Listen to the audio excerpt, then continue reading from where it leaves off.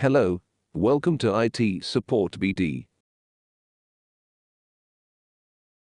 In this video tutorial, I want to show you how to install and connect the Sophos SSL VPN in your device. First, you need to browse your organization's VPN URL. Sign in to the user portal in your web browser. Log in here using your VPN username and password. Enter the captcha and get logged in. On the left menu look for the options name VPN. Download Windows client for Windows users or download Mac client for Mac users. Your download will start I'm using Google Chrome. Your download will show on the bottom left hand corner. Open this file so I can just click file, begin prompting you to run the installation. Click I agree. Click install.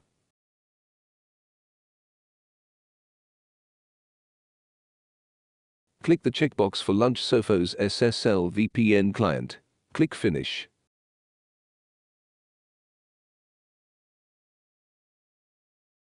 Now that the software is installed. Now under VPN configuration, click and download the SSL VPN configuration file for Windows or Linux users. Just click the VPN configuration file. Now check my IP address. Click the Windows plus R button to open the run command. Type CMD in the search box and press enter. Type ipconfig and press enter. My IP address will be the IPv4 address. This is my home IP address. Click Connect. Enter your Sophos SSL VPN name and password.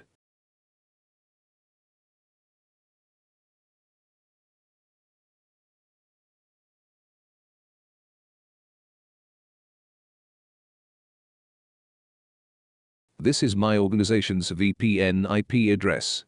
My Sophos SSL VPN is now activated and connected. Thanks for watching this video.